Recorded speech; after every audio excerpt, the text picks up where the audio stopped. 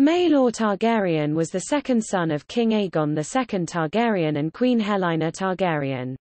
He was killed by a mob at Bitterbridge. Maelor was born in 127 AC, the third child of his two parents. In 129 AC he, along with his siblings and mother, visited his grandfather, King Viserys I Targaryen. Their grandfather told his older siblings a story, but instead Maelor opted to play with the king's pearl ring. Maelor's father was proclaimed king by Lord Commander Criston Cole upon the death of King Viserys, despite the fact that Rhaenyra Targaryen was the preferred heir. This engaged the civil war known as the Dance of the Dragons. His brother, Prince Jaehaerys, would die later on in the year, making Maelor the heir of King Aegon. Two assassins named Blood and Cheese snuck into the Tower of the Hand, corning Helaena with her three children.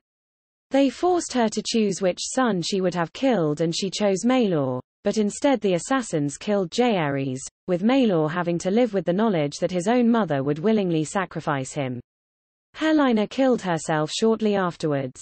Maelor was smuggled out of the city by Larys Strong when it fell to the Blacks. He assigned Sir Rickard Thorne of the Kingsguard to protect him and escort him to Old Town.